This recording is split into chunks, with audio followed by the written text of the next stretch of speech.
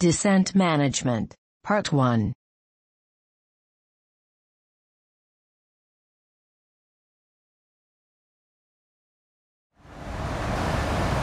Our video starts with the aircraft already set for the approach to Jeddah, 50 miles away from the top of descent. This will be a demonstration showing how some inputs on the FMC may affect the calculation of the descent path.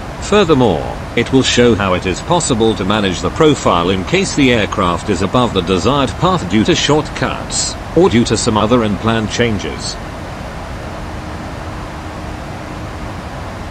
We are now flying at flight level 340. The cost index is 23, and the economic default speed calculated for descent is 265 knots. The ETA with this speed is at 1155 with 3.4 tons of fuel. If the descent speed is changed to a faster speed, 320 knots for instance, the top of descent will be moved to a farther position. This is because the FMC is now calculating a steeper descent. This is not fuel efficient because it would keep the aircraft longer in cruise altitude. Observe that now the FMC is estimating the arrival 2 minutes earlier, but with 100 kilos less of fuel. The economic speed is calculated according to the cost index. It takes into consideration not only the fuel, but also the other costs involved in the operation of the aircraft. For now keep in mind, the faster is the speed, the steeper is the descent path calculated by the FMC. Let's keep economy speed selected for descent and see how the forecasted winds affected the calculation of the top of descent. In this example, let's enter the forecasted winds at flight level 300. When a strong tailwind is entered, the top of descent comes closer to the aircraft as the FMC now is anticipating a faster ground speed and a lower descent angle.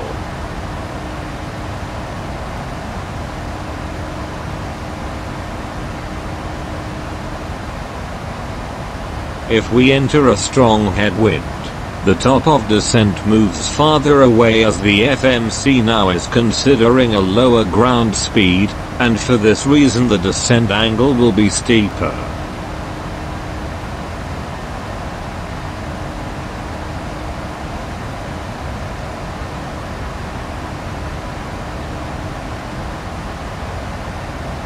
Now we will set the actual forecast wind and let's observe the dynamic during the descent when we change the speed of the aircraft.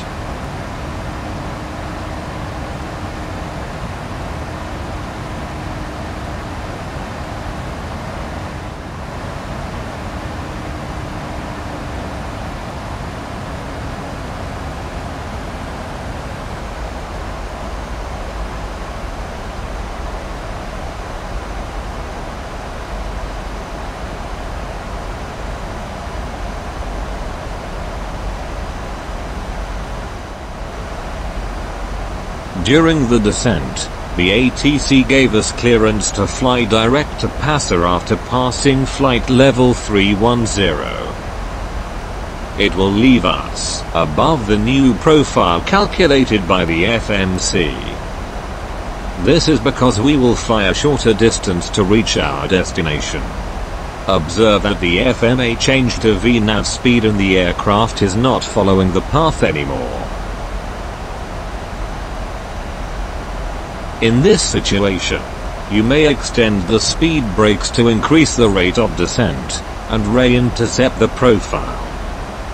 Although, if there is no speed restriction, there is a more efficient way to do it. Increasing the speed. This way, the rate of descent will increase, allowing us to correct our path. Besides, selecting the proper speed will make us land sooner with no extra cost of fuel.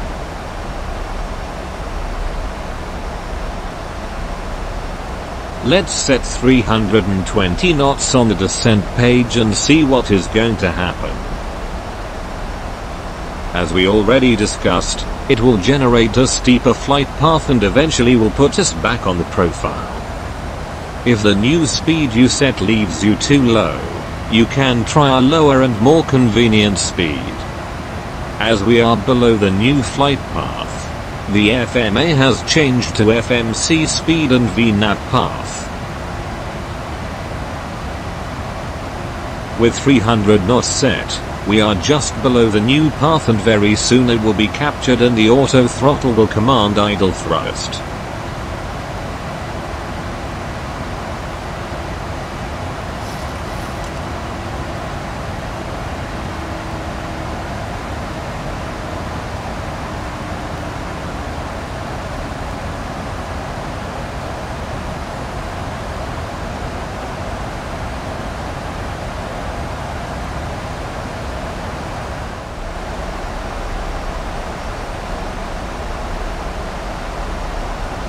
Now the ATC is requesting a speed of 280 knots. After setting the new speed on the FMC, the FMA will display VNAV speed again, and we will have the indication that we are high on the new profile.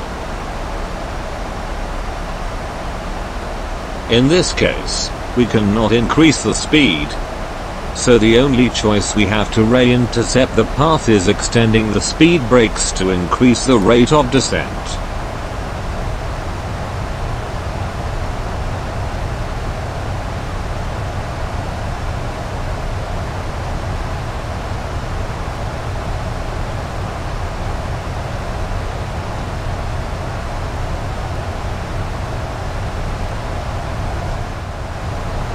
Once the path is re-intercepted, the FMA will change to VNAV path and the speed brakes can be retracted.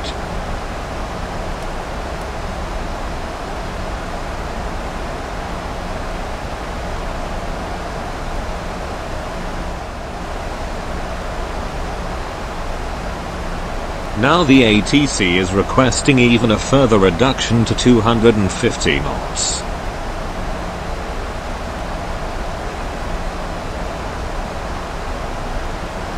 The new path calculated is not very far from the actual path, and that is why VNAV path is still displayed on the FMA. The aircraft will maintain the new path but as the speed is well above a target speed, the drag required message is displayed on the scratch pad. In this case, to reduce the speed, the speed brakes have to be extended again.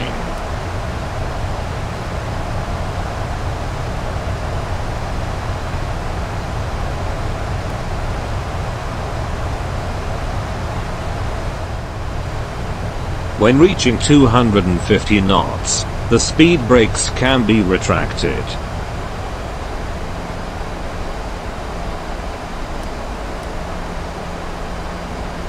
There are many different ways to use the automation of the aircraft.